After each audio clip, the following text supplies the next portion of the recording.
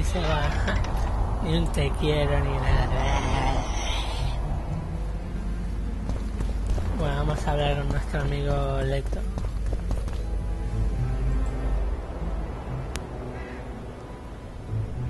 Took you a while?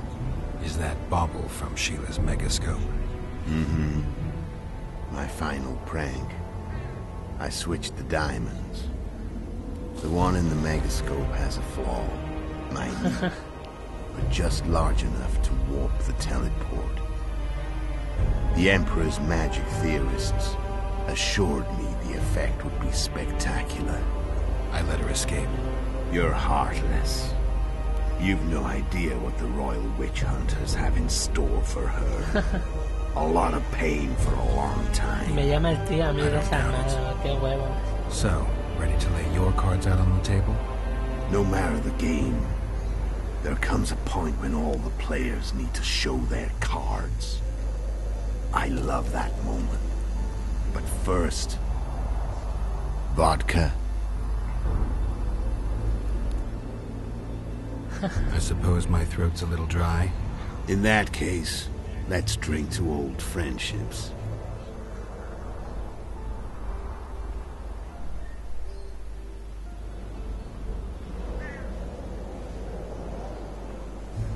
Bien, bien, bien. Borrachos los dos como lemures. Recovered your memory yet? Not entirely. Remember when we first met? Yeah, I saved your life. Couldn't think of a nicer way to pay me back? Frankly, I couldn't. I mean, taking care of another man's woman, Yennefer. I can't fathom what you saw in her, but I suppose there's no accounting for taste. The winter solstice 1270.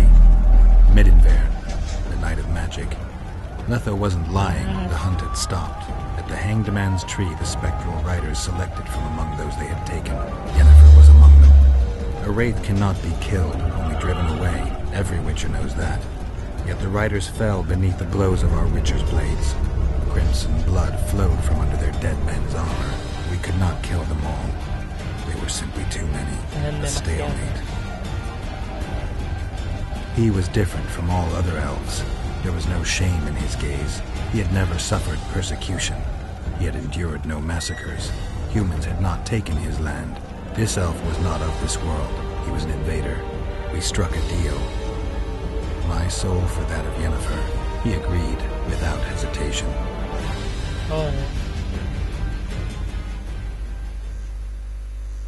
Back with me, friend. Got the feeling you left for a minute. Memories. I remember the hanged man's tree and the wild hunt. I remember the exchange. Me for Yennefer. So, cards out on the table. Unless you chase me all that way just to kill me. I chased you for lots of reasons. You owe me some explanations to start with. Let's say I do.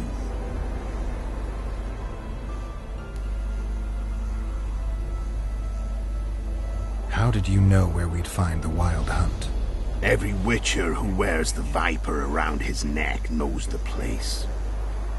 We had so many books and scrolls about the hunt that I used to think our school was founded for the very purpose of solving the riddle of the spectral riders. Know who they are? You know the true identities of the riders? From what I understand, they're some damn elven race.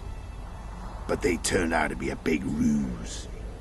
The legendary omen of war proved to be a fairground attraction. No Market Square mage could possibly conjure up a cavalcade of wraiths speeding across the sky. Then there's the amnesia. No, there's something more, I assure you. Go ahead, enlighten me. Posiblemente en una can tercera tell you parte luchemos con ellos. There are a lot of legends and myths about it, but the wild hunt is a fact. I've fought and killed many of its wraiths. They were spectral emanations, the avatars of real riders. The riders we ran into by the Hanged Man's Tree. Are you telling me you were carried off by elves? Real material sons of bitches like the ordinary kind we deal with in this world? They may be ordinary in their world, but they're strangers in ours. The conjunction of spheres. Know the theory? Do you know how monsters appeared in our world? There's not a Witcher who doesn't know that. So you know there are other spheres. The most powerful of our mages can open passages between these worlds, and they usually do that to summon the monsters we then have to hunt. The elves we saw come from another world, and they weren't summoned. They found the way on their own. It's not exactly easy, so they usually send their spectral emanations. They come in person on special missions. As they did for you and Yennefer. Mm-hmm. So, elves from another world and their trained wraiths. What did they want from you? I've got an idea, but that's not your concern. Care to tell me what it was all about? Hmm. Kill as many rulers as we could. Lay the blame on the sorceresses. Breed chaos. Prepare the North. Soften it before the invasion. You know what's incredible? We could not have imagined more fertile soil. No matter what the war's outcome, the northern monarchs will accuse one another. Pursue their God-given rights. Seek vengeance and be at each other's throats for years to come. The north resembles a whorehouse on fire, as your friend Dandelion would say.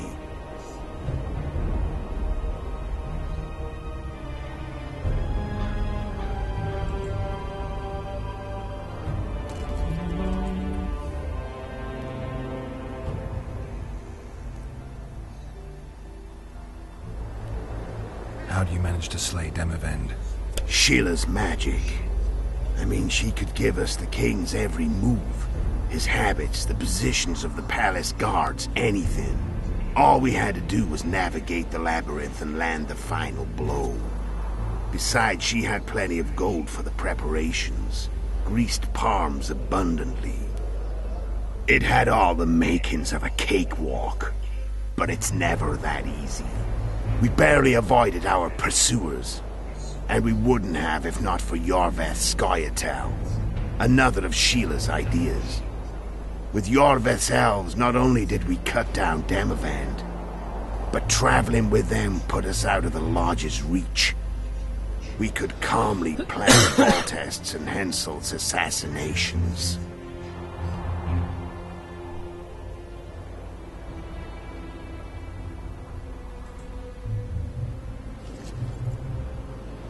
Why are you still here? Why did you wait for me this time? I knew you wouldn't give esto va a up. I knew you'd pursue me. And I don't aim to hide anymore. Fact is, only you know the truth about me. Well, and a couple of folks whose word isn't worth spit anymore. I never saw you as a foe. I want to go my way. But if I have to fight you first, so be it. This story ends here and now. How did a Witcher agree to kill humans at another human's bidding? At the Emperor's bidding, Geralt. And he's no ordinary human. The rulers of the North come up to about where his Paulines end. Why? Simple. He promised to rebuild the School of the Viper. The Witcher's order where I came to be. Witcher's schools in the south fell into ruin long ago. And Witchers themselves became internal exiles, banned from entering most cities. Besides Serrit and Auckes, I know of two other Witchers of the School of the Viper who should be alive and on the path. I don't know where they are. Haven't seen them for years. Now they can come out of hiding. They can come home. Tell me about Yennefer. What happened after I departed? She was feverish for several days, delirious, in agony. we thought that was it. She was on her way out. Somehow she recovered. But even then she was disoriented, Otra con amnesia. amnesia like you. What then? Well, the woman turned out to be quite a character. Throwing temper tantrums, trying to seduce orcs, trying to drive a wedge between us. After you so nobly sacrificed yourself, we thought it'd be dumb just to leave her somewhere. She wouldn't have survived more than a month. The whims and vigor of a duchess, but she was just a sorceress with no memory. We were in the heart of the Empire. And as I'm sure you know, Geralt, in Nilfgaard, Joder. mages who behave like that either drop their bad cotizado habits quickly or are drawn and quartered by horses in the middle of Victory Square. So I heard. So we set out, wandered through the provinces. Everywhere we went, she got in trouble and we pulled her out. And then one day they captured us. The Imperial Policía Secret secreta. Police. Me, Auckes, Serrit, and Yennefer. Imperial Secret Police? Mm-hmm. We were separated, and they questioned us. Long and thoroughly, but it was uneventful. No violence. That's how I met Vattier de Rideaux. And a couple of weeks later, the Emperor himself. Me. A simple witcher. What happened to Yennefer? I don't know. Never saw her again. The Emperor offered me a mission in the Northern Kingdoms.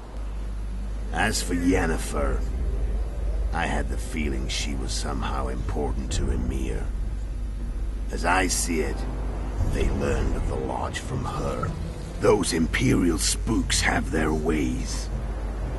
All I heard is that Vattier had his men watch Yennefer closely throughout the time she was at the Joder, palace. esta conversación es relevante. Then we went off to slay the kings of the north. That's where my knowledge ends.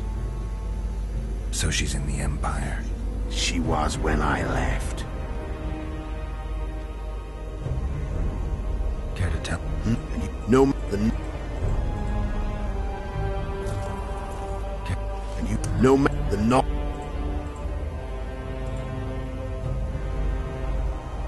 Shame you didn't take a shot at Henselt yourself. History might have taken a turn. Maybe I would have killed him. Maybe you would have killed me. Who knows? But Henselt's death, although desirable, wasn't necessary anymore. The plan could go forward without it. Besides, somebody else got him. You know who? Come on. We both know. So Sheala was looking for you when she came to Flotsam. Mm-hmm. She thought she was still in control and wanted to get rid of me.